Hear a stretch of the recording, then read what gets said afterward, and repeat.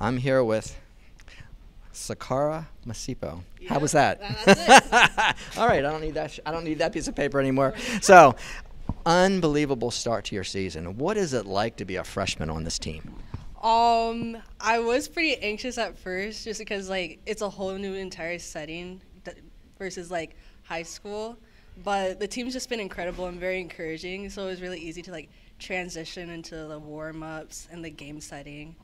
And yeah, I'm just like really happy to be here. Oh, good, good. Well, I know since I recruited you, I know you kind of expected your parents to be close, and then they're not close, and because your dad got transferred. But it looks like to me you have no fear. I mean, you had a big block up against you today, and you know, tell me a little bit about what it was like in the game against Salisbury. It was very competitive and really tough. We both challenged each other a lot, and um, that's that's what I like in a game. It, you don't want it to be like really easy competition. It's like the heavy competition that like drives you to want to be better and do better. What do you like better, getting that stuff block, or putting that kill down? Dang, that is a tough one. But I, I honestly, I think it's just gonna have to be the block for me personally because I love hitting and I know what it's like to just like think like, oh my gosh, I totally got the shot, and then just like bam, ball blocked either down, going straight down, or like in someone's face, and it's just like absolutely like. It's like, dang it, I didn't get that. And you're that person, you're like, ha, yeah, I got you. Well, you've been getting them a lot because right now you coming into this game, you were averaging 1.18 blocks per set. Typically, that puts you in the top 20 in the NCAA.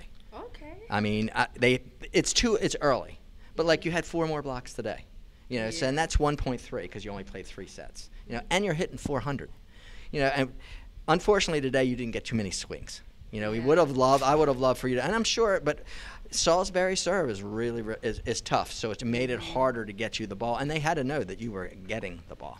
Yeah. Uh, so I really appreciate you coming on with us tonight, uh, and you know I know that's hard as a freshman, but I, I don't see any. Qu- do you like to dink?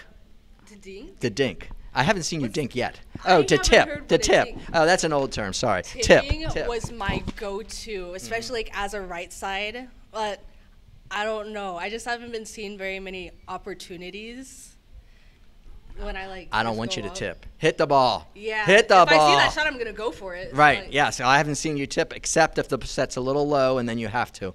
But uh, Yeah. uh, anyway, great job, Z, and uh, it's going to be fun watching you play this year. Thank you so much.